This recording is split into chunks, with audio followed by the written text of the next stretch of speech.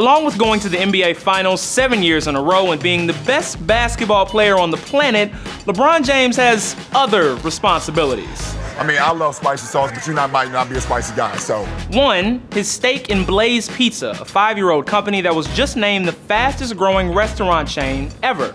Blaze Pizza started with two locations in California. It now has 200 different joints around the country and is on track to make $285 million in sales this year.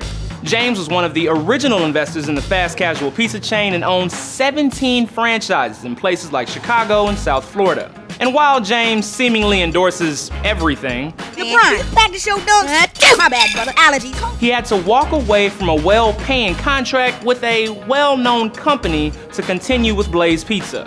You had a great contract with McDonald's Yeah. that was set to pay you. I mean, you had another 14 or 15 million dollars left guaranteed. Yeah, forget the money. We can actually build something. Yep. And and if it doesn't become successful, then I can only blame myself. In response to the good news, James tweeted, I mean, who doesn't like pizza? And you know the only thing people like more than pizza? Dough.